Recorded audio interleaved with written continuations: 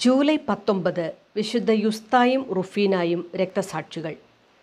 സ്പെയിനിലെ സെവിയ എന്ന സ്ഥലത്ത് മൺപാത്രങ്ങൾ നിർമ്മിച്ച് വിറ്റ് ഉപജീവനം കഴിച്ചിരുന്ന രണ്ട് ക്രിസ്തീയ വനിതകളാണ് യുസ്തായും റുഫീനായും. വിജാതീയ പൂജകൾക്ക് ഉപയോഗിക്കുവാനുള്ള പാത്രങ്ങൾ അവർ ആർക്കും വിറ്റിരുന്നില്ല. കുപിതരായ വിജാതീയർ ആ വനിതകൾ വിൽക്കാൻ വച്ചിരുന്ന പാത്രങ്ങളെല്ലാം ഉടച്ചു കളഞ്ഞു. ഇതിന് പ്രതികാരമായി ഒരു ദേവിയുടെ വിഗ്രഹം അവർ തകർത്തു.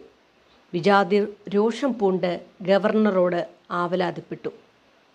പ്രീഫെക്റ്റ് യുസ്തായോടും റുഫിനായോടും അവർ നശിപ്പിച്ച വിഗ്രഹങ്ങൾ ഏത് ദേവന്മാരുടെയാണോ ആ ദേവന്മാർക്ക് ബലി ചെയ്യാൻ ആജ്ഞാപിച്ചു.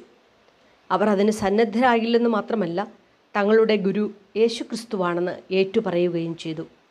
ഉടനടി അവരെ പീഡന യന്ത്രത്തിൽ കിടത്തി അവയവങ്ങൾ വലിച്ചു നീട്ടാനും വയറ് മുള്ളുകൊണ്ട് കീറാനും പ്രീഫെക്റ്റ് ഉത്തരവിട്ടു.